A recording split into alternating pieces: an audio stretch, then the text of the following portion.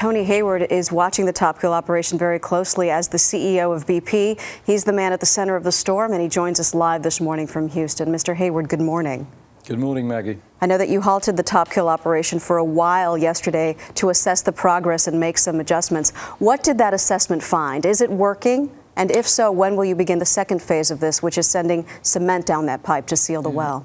So the Top Kill is proceeding broadly in line with our plan.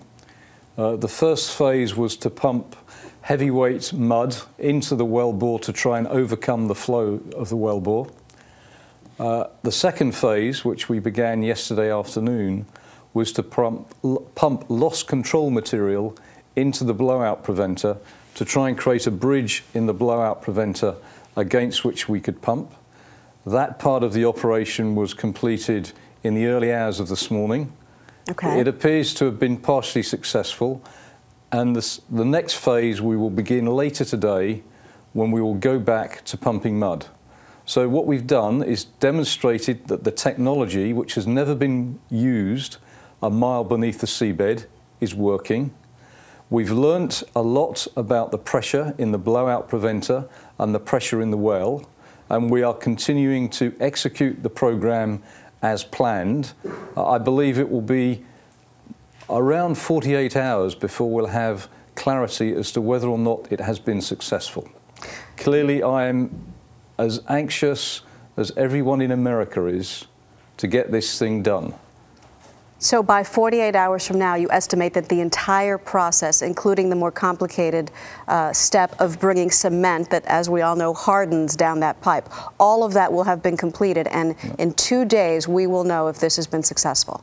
No, Maggie. I said that the the plan, the program of mud pumping would probably take another couple of days. Oh.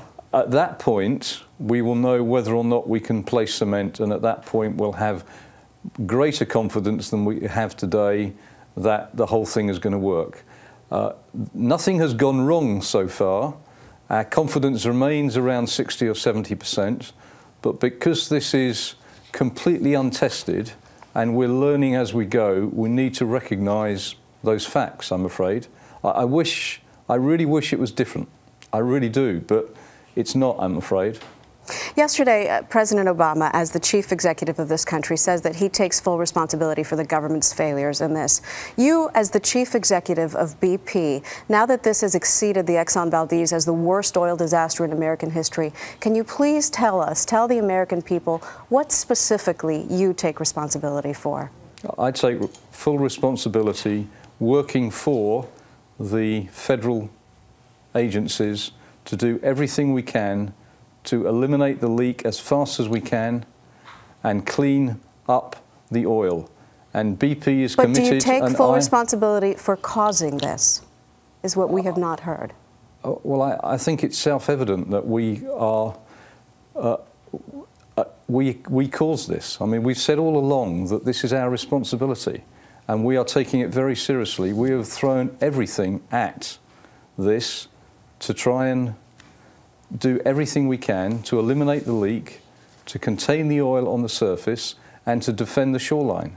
Uh, and a, a cup of oil on the beach is failure as far as I'm concerned. Well, no one disagrees with that. Tony Hayward, thank you, sir. A lot happens early on The Early Show, weekday mornings on CBS.